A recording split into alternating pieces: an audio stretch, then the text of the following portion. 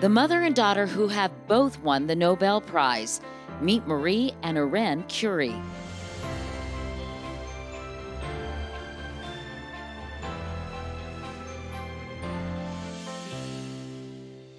Marie Curie was born in 1867 in Warsaw, Poland. She dreamt of becoming a scientist, but Polish universities didn't admit women.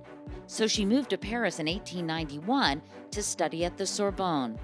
It was like a new world opened to me, she said, the world of science, which I was at last permitted to know in all liberty. In 1895, Marie married Pierre Curie, a fellow physicist. Together, they discovered two radioactive elements polonium and radium. Mom and Dad, side by side at the power plant. You'll be just like Marie and Pierre Curie. The couple won the Nobel Prize for Physics in 1903, making Marie the first woman to do so.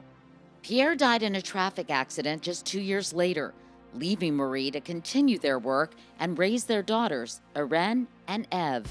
Meanwhile, her personal life made the tabloids in 1911 when her affair with a married man led to multiple duels over her honor. But she kept her focus on science, winning her second Nobel Prize that year. Madame Curie.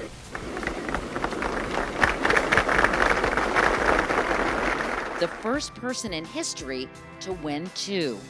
Marie's daughter Irene followed in her footsteps, studying physics and joining Marie's research team in 1918.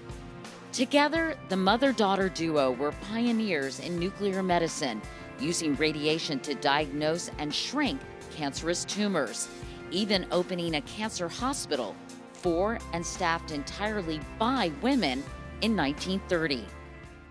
Marie's exposure to radiation led to her death at 66 in 1934. A year later, Irene and her husband won a Nobel too. Irene ultimately died in 1956 from leukemia, like her mother, poisoned by the elements she studied. The Curie's work continues to influence the treatment of cancer patients and inspire new generations of scientists, including Marie's granddaughter, Hélène. Marie disait euh, J'ai consacré beaucoup de temps à la science, vous voyez, dédier sa vie à la science. Euh, elle a su choisir.